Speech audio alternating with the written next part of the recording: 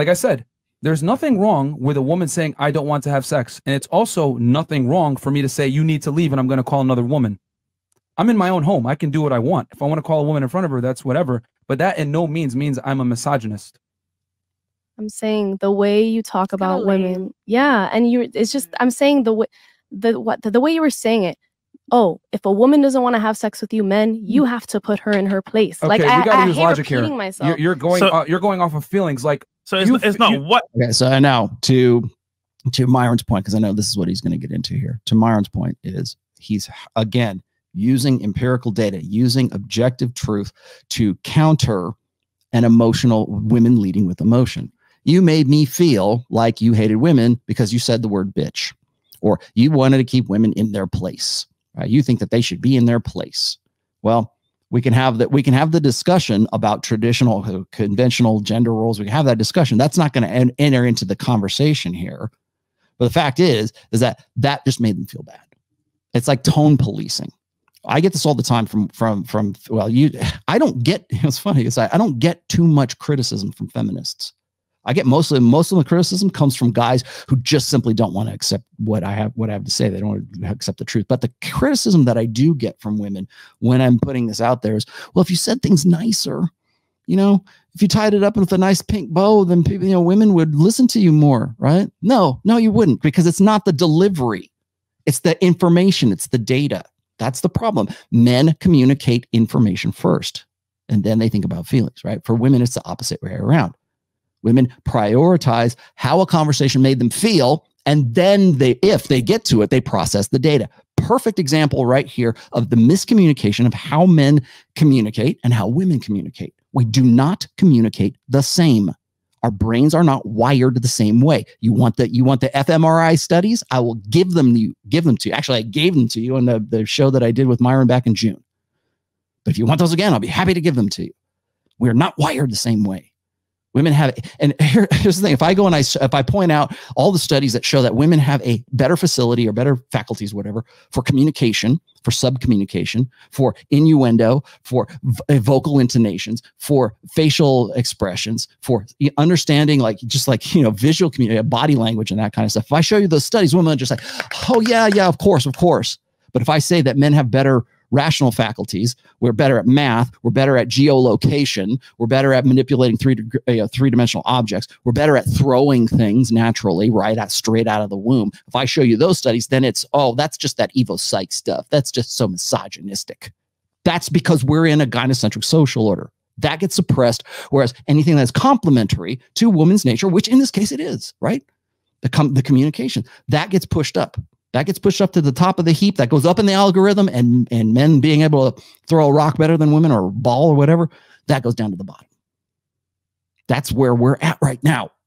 That's why you have this this clash but and and this is that's why i wanted to highlight this video today is because that's where we're at. It's the clash between emotionalism versus rationalism and and this is uh, there's no better illustration of that. I'm I, I feel like I'm the one that has to like sort of do the play by play. Like I'm the I'm the you know John Madden of, of the red pill. Like oh you know give my X's and O's and say and then he says this. I could do that, but this is where this is where it, it boils down. This is where the rubber meets the road with respect to the the war really that's going on between rationalism and emotionalism. I feel I feel I feel. Fuck your feelings. Gad Saad on Joe Rogan. I'm quoting him fuck your feelings. Because nobody cares about and certainly nobody cares about men's feelings. And they shouldn't. Honestly they shouldn't care about your feelings. Because um, uh, it's only important to you really. And the sooner you accept that the better off you're going to be. All right? Oh you should reach out for help. Yeah you should. I'm not saying you shouldn't. You're depressed. You're suicidal. Definitely. Reach out for help right? You know make sure it's another guy. But don't expect women's empathy or sympathy to be on tap and, and God forbid, don't expect women to get off on the fact that you're vulnerable with your feelings or whatever. That's you leaning over into women's preferred way of communicating. That's you uh, trying to operate in a female dynamic. That's you trying to operate in a gynocentric, female correct paradigm. You know, a lot of guys reach out for help with an AK-47 or AR-15, right? They they have their emotional. I mean, express yourself emotionally. Okay, that that's that's their expression. You told them to do it. That's anger is their that's, that's the emotion they want to express. There you go. That's how you get movies like The Joker. you know, that's why that's popular because it's a it's a fantasy. It's a retribution fantasy. But he is having he is expressing himself emotionally. So there you go. You got what you wish for, ladies. The fact is, is that men and women don't communicate the same way because we don't interpret our world in the same way. We don't interpret respect the same way. We don't interpret love the same way. We don't interpret, uh, and again, there's nothing wrong with that. I'm not saying men are better than women or women are better than men. I'm just saying that they are better suited for different challenges that the world and the environment places on us. It's okay that women lead with emotion. It's okay that men should, anyways, be uh, naturally, innately lead with reason. Our strengths make up for women's weaknesses, and women's strengths make up for men's weaknesses. We're supposed to be that way. It's complementary.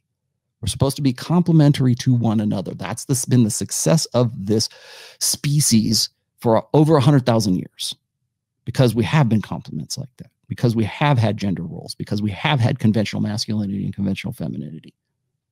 And there's nothing wrong with those things. The only thing that makes them wrong is when you have these memes in your head that say these you shouldn't feel good like that. Beauty is a social construct. No, it's not. I, I can show you the data that showed that it's not multicultural, multi-ethnic data that shows that there is a universal, objective standard for beauty for both men and women. Like different concepts, right? I can I can show you those too if you'd like. You know, oh, show me the data. Okay, fine. I'll put it in the description if that's what you want.